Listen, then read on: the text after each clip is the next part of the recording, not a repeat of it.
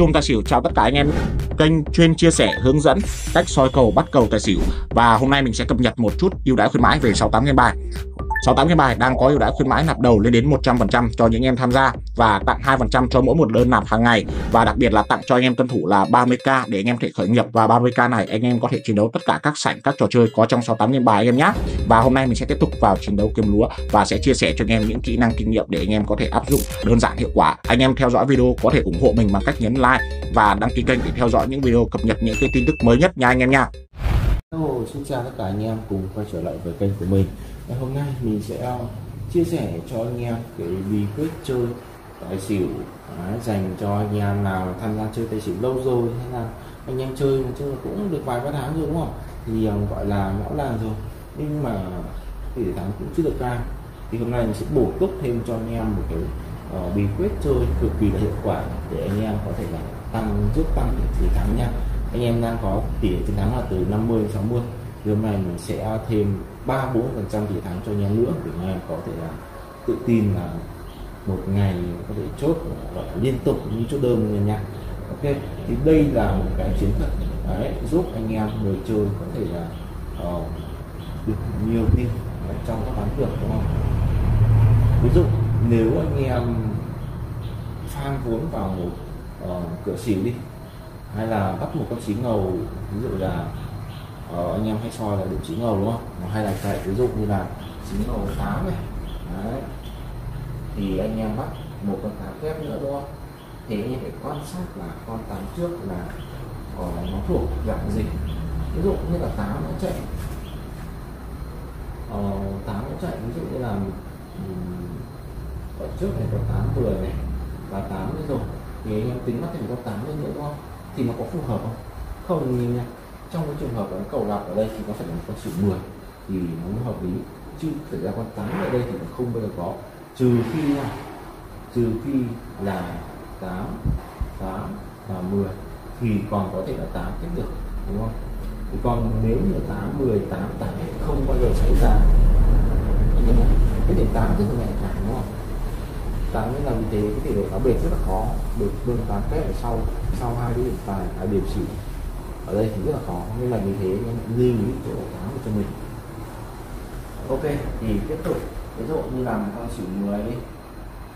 Thì 10 nó có lên con tài 10 muốn hay không là do con 10 này ở ờ, có thể là tổng viên ví dụ như là ở tài là khoảng 27 thì xỉu ra là 23 thì cái tỷ lệ nó lên tài rất là khó. Tức là được chỉ thiếu ở những bài ngược đúng không? Thì con người này người này thì anh em anh em có thể là bắt thêm cho mình bằng chín năm con số chín hoặc là có 10 kép vừa cũng xa đúng không? Đấy, đấy là một cái điểm cần lưu ý khi mà anh em chơi cho mình. Cách thực hiện rất đơn giản thôi anh em cần lưu ý là khi mà anh em thực hiện thì anh em phải kèm theo cách đi vốn hay nữa. Chứ không phải là anh em bắt hay mà đi vốn trả ra gì thì thành ra là cũng trả lời lãi được bao nhiêu. Ví dụ anh em có vốn là 10 củ đi, theo cái vốn là bình dân hiện nay, thì anh em sẽ đi là tầm ví dụ 5 tay thì phải cân đối là 2 mét một tay. Mỗi tay là 2 mét là ok. Đó. hoặc là 3 mét là tối thiểu nhất. Đừng có đánh to quá. Nếu như mà tập kết thì em có thể lại đi 50 phần trăm vốn là được. Gọi là năm củ lại thôi. Đấy gọi là cái mức to nhất có thể thôi nhé. Chứ đừng có đi là tất tay này hay là ố lin này. Đấy, bỏ qua cái suy nghĩ đi. Đúng không? Bởi vì là anh em mình chơi vài tháng rồi lão làm rồi mà vẫn còn là ô lin tất tay về cái bộ tài xỉu này. Thì đúng là anh em thất bại là cũng đáng thôi. Nên là vì thế đối với cái lựa chọn ngày đi đối với lựa chọn mà anh em chơi môn tài xỉu rồi ấy, thì tốt nhất là anh em nên là đi một cách là, là chuẩn xác này hoặc là anh em bắt đầu là đủ cái điểm phiên chính ngầu nó phải rõ này.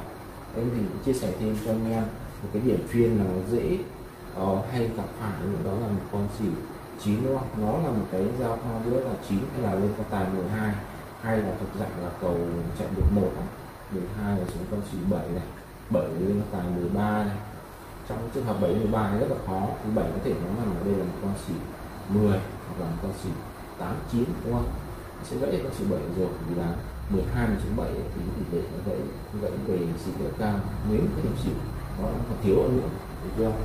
Còn nếu như mà nó đang thừa tức là sao? Tức là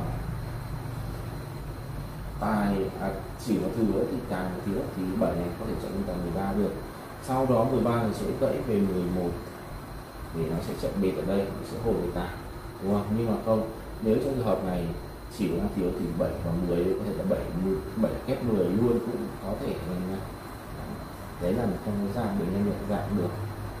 Không không chỉ là cùng một này đâu. Trong cái cầu bệt nó cũng như vậy. Ví dụ đang bệt 6, 7, 8, 7 và 10 thì chỉ thiếu thì nó phải là kép 10 sau đó là mới lấy được nhân tài nó nó là cái thuật toán của game. Đó là chỉ sẵn của game rồi lúc nào nó chạy nó chỉ nguyên như thế thôi. Đó. trong cái tháng này thì tất cả các môn tài xỉu online hiện nay thì anh em có thể là để ý kỹ cho mình để nghĩ kỹ cho mình những cái điểm phiên uh, ờ, quen thuộc của game. Những cái điểm xí ngầu đúng không? Anh em mà nắm phải nắm bắt đúng cái điểm mà anh em học phải mà nó hay xảy ra ấy, thì kiểu gì anh em chơi nó cũng là cực kỳ là chuẩn anh em ơi. Chứ đừng mà tự nhiên là trong cái tháng tháng tháng tháng này mà ví dụ tháng 8 hay là tháng 7 này nó hay là lên tài, đúng không? Nó hay lên tài. Thì anh em lại cứ đi là 7 bắt về xỉu. Thì thành ra là thật là sai, đúng không? Thật là sai. Thế thì nếu như mà xu hướng của nó trong tháng này, những cái điểm kia thì anh phải cần quan sát, đúng không? Mình chơi cả tháng trời mình phải là có thể là anh em nào chỉ điều kém như là nót ra điện thoại này hay là ra giấy này đúng không? Những cái điểm mà nó hay lên cái điểm mà nó hay xuống. Đó để mình lưu ý đúng không? Mình cái đầu mình nói chung là mình không thể nhớ được mình công việc ở ngoài nữa đó, đúng không? Mình không nhớ được thì mình có thể ghi ra ngoài đúng không? Những cái điều kiện độ gì không ghi Đấy, nhiều ông là muốn tỷ lệ thắng cao nhưng mà rất chi là lười lười nói chung là hoạt động gọi là ghi nhớ để ra được những cái bảng như này. Đấy. tại vì sao mình thắng lớn được và tại sao mình đứng ở trước bảng này mình chia sẻ với anh em? Đó là một cái thói quen của bản thân mình tạo ra được là mình chơi, mình bắt đầu như thế nào, mình ghi lên đây để cho nhớ, được chưa? Và mình tính toán kỹ càng ra thì mình mới có thể là phân tích được là cái phiên tiếp theo ra là gì này. Cách đi vốn hiệu quả này tỷ lệ thắng tỷ lệ cao này, đúng không? Khi mà anh chơi vào thì anh mới hiểu rõ được là cái tầm quan trọng khi mà mình phân tích rồi. Mình là người chơi lâu rồi chứ không phải là mình là người chơi mới chơi. Thì ừ mình là người mới, mới chơi mình có thể là bắt qua loa mình nhìn cái cầu nào mình bắt cầu đấy. Đó thì được đúng không? Nhưng mà mình là người chơi lâu rồi. Đấy, kỳ kỳ rồi lão làm rồi. Thì tỷ lệ thắng chưa cao thì mình phải tìm hiểu là tại sao ở chỗ nào mà mình còn tỷ lệ thắng chưa cao là ở đâu đúng không? Mình lỗi ở đâu à, mình sai chỗ nào. Đấy, thì mình cũng cần phải phân tích ra cái giấy ra bảng ra đây mới hiểu rõ được là mình sai đây hay là mình còn lỗi và đi vốn kém thì mình phân tích. Ra đây là mình phải đi vốn như thế nào để tạo thói quen bản thân mình phải sửa sai đi chứ đúng không chứ mình càng chơi lão làm rồi mà mình càng thua thì đó là do bản thân mình nhé ok thì um, trong video này mình sẽ kết thúc ở đây và anh em cứ tham khảo cái bí quyết Đấy, chơi tài xỉu không thua dành cho anh em là chơi lão đàng như thế này để anh em để tham khảo nhé ok, cảm ơn anh em đã theo dõi video của mình. Chào tất cả anh em. Và người nhé.